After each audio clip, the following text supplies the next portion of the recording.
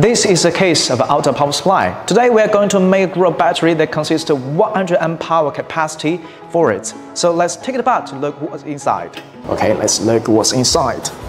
Wow, so this part is an inverter and this part is a DC part. And for this space, we consist of a battery group that we're going to make. According to the size of the outer power supply, which is this LiFePO4, and capacity is 100 amp. And the single one capacity is 100 amp. We're going to make four strings, 12 volts for the outer power supply. I also prepare an BMS board. It's a four strings, 12 volts LiFePO4 BMS board. And now let's do it. The first step we have to make uh, installation. We will use the epoxy board. Okay. We have to fix it with the fiber type. And next we're going to weld it. One hour later. When finished the welding, and this is a copper sheet, we made the connection with the battery. And this is BMS board we prepared. And then the discharge current we choose is 100 ampere, so the flat wire of the BMS board. So next we're going to weld the flat wire to the battery. Let's do it. The flat wire has been welded and next part we have to use the detector to check the sequence of flat wire. It's no problem.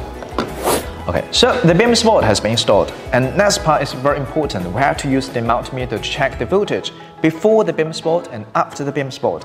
So before the BMS board, we have to know the voltage.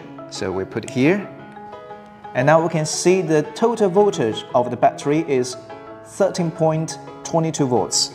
Okay, now after the BMS board, you can see the voltage now we can see is still the same. Okay, so it's no problem with BMS board. Because we can see here the outdoor power supply has two input terminal, and so we also have to prepare two outdoor terminal, two in one.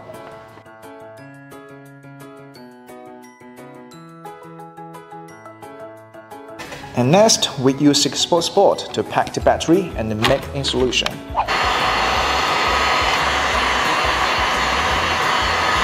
We put the battery into the box and tighten the screw.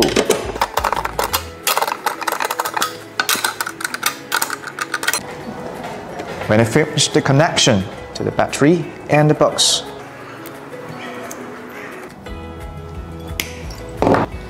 this is inside of the outer power supply. So we press here, start button, and also the AC part. So let's have the test. Okay, it worked now.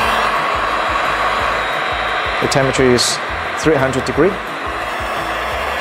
Good.